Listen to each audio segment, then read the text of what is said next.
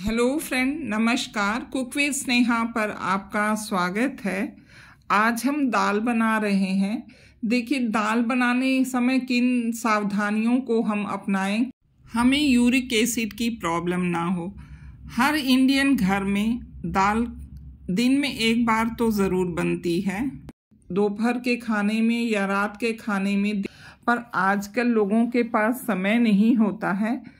तो लोग फटाफट दाल को प्रेशर कुकर में डाल देते हैं और बिना भिगोए दाल को फटाफट डालकर हल्दी नमक डाल के पकाकर तड़का दे लेते हैं।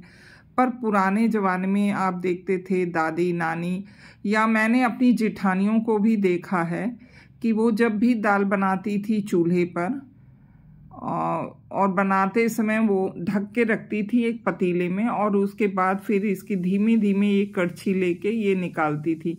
तब मुझे समझ में नहीं आता था कि ये क्या है, पर उन्होंने बताया कि ये दाल में से निकाल देते हैं, ये ज़रूर निकाल देना चाहिए। तो मुझे ये लगता था कि पहले चकली में दरते थे तो उसके थोड़े मोड़े छिलके रहते थे तो उन चीज़ों के कारण वो निकाल दे रही हैं कि दाल साफ़ हो जाए। पर ये नहीं था। ये जो चीज़ें दाल की गंदगी है, पहले, वहाँ तो दाल पुराने समय में भिगोते नहीं थे लोग क्योंकि घर पे ही दला जाता था और पाउडर वगैरह नहीं लगता था। पर आजकल तो बड़ी बड़ी फैक्ट्रियों में दालें दल के आती हैं, जिसमें पाउडर वगैरह डाले जाते हैं। तो हमें क्या करना चाहिए कि उसे अच्छे से पहले भिगो दें हम?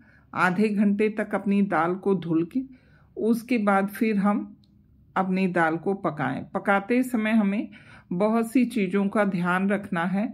अगर हम इन चीज़ों का ध्यान नहीं रखेंगे तो हमें यूरिक एसिड की समस्या हो जाएगी। आजकल जो यंग एज के बच्चे हैं, सीढ़ी पर चढ़ नहीं पाते हैं, क्योंकि उन्हें यूरिक एसिड की प्रॉब्लम होती। देखिए, दाल धुल लिया था मैंने और धुल के फिर हमने दाल को पकने के लिए रख दिया। जितनी दाल हमारी हो, उसके हम तीन गुना पानी अभी डाले हैं और फिर हम ऑन कर दिए हैं अपने इंडक्शन को या आप हाई फ्लेम पे दाल को बॉईल कर लीजिए और जब हमारी दाल बॉईल होने लगे तो इसके अंदर जो झाग सा आ रहा हो, उसे आप एक कटोरे में या बर्तन में निकाल दीजिए। इस झाग को हमें तब तक निकालना है जब तक कि पूरी तरह ना निकल जाए। हाँ मैं जानती हूँ कि वीडियो बहुत बड़ा हो रहा है, पर आपकी कोई इसकी परेशानी ना हो। ये तरीका पूरी तरह से लोग जान जाएँ।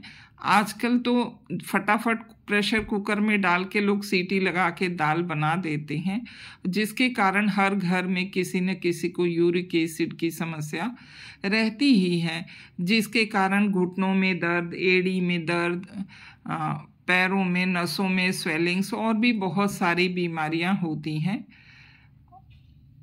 तो इसे हम फटाफट इस तरह से करके निकालेंगे। तीन से चार बार इसे लो, मीडियम, हाई फ्लेम करते हुए हमें पूरी दाल के जितना ज़्यादा हो सके इसमें जो गंदगी है, यानी छाग है, उसे पूरी तरह निकाल दें।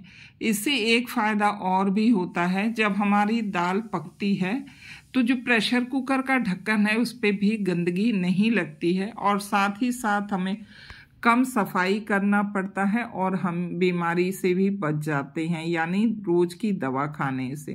देखिए, आप देख रहे हैं ना कितना ढेर सारा झाग निकला है।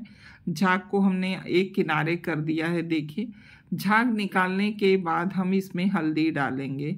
मैं प्रेशर कुकर में पकते समय नमक नहीं डालती हूँ। आप चाहें तो इसी समय नमक डाल सकते हैं। थोड़ा सा मसाला डाल रही हूँ गरम और टमाटर। मसूर की दाल है और टमाटर डालने पे काफ़ी हेल्दी भी हो जाएगी और टेस्टी भी। और फिर हम ढक्कन बंद करके सीटी लगा देंगे। सिर्फ़ एक सीटी में दाल पक गई और इसे हम ठंडा कर लिए प्रेशर कुकर को, यानी गैस निकल गई। अब हम फटाफट अपने प्रेशर कुकर को खोल लेंगे। और देखिए कितनी अच्छी दाल पककर तैयार है। काफ़ी गाढ़ी दाल है, हम थोड़ा गाढ़ी खाना पसंद करते हैं, पर अगर ज़्यादा गाढ़ी हो गई हो तो आप इसमें ठंडा पानी ना डालिएगा, बल्कि गर्म पानी डालिएगा। मिक्स कर ले रहे हैं हल्के हाथों से और उसके बाद हम एक कटोरी पूरी गरम पानी कर रहे हैं और फिर उसे डालेंगे। देखिए, इंडक्शन पे हम गरम। पुराने ज़माने में तो जब हम खुले भगोने में बनाते थे तो हमें याद आता है कि ऊपर कटोरी रख देते थे, कटोरी में पानी, और वो पानी गर्म होता रहता था और नीचे हमारी दाल पकती रहती थी। फिर उसी पानी को ऐड कर दिया जाता था दाल में। अब हम फिर दाल में तड़का लगाएँगे। उसके लिए मैंने पैन रखा है। जीरा थोड़ा मेरे से गीला हो गया था क्योंकि हम धो रहे थे। जीरा तो गलती से इसमें भी पानी चला गया जो सूखा रखे थे। और फिर जीरा हम पैन में डाल देंगे ताकि वो अच्छे से गर्म हो जाए, उसके बाद देसी घी डालेंगे। अगर आपका जीरा सूखा हो तो घी या तेल गर्म करने के बाद ही डालिएगा। और थोड़े से इंग्रेडिएंट डालकर फटाफट हम इसे मिर्च डाल दे रहे हैं। बहुत ज़्यादा तीखा नहीं, खाने का मूड है आज। और थोड़े से करी पत्ते, कश्मीरी मिर्च दाल को कलर देने के लिए। और इसके बाद तड़के में घी डालने के बाद आप फ्रेश घी ऊपर से डालकर सर्व कर सकते हैं। अब हम पूरी दाल को अपने पैन में पलट देंगे। इस तरह से हमारी हेल्दी और टेस्टी दाल तैयार हो गई है। आप इसे दाल, चावल या रोटी के साथ सर्व कर सकते हैं। ना बहुत ही यूनिक और टेस्टी तरीका। इस तरह से आप अपने आप को बीमारी से भी बचा सकते हैं। अब हम नमक डाल देंगे और नमक मैंने सेंधा यूज़ किया है। दाल को मिक्स कर देंगे।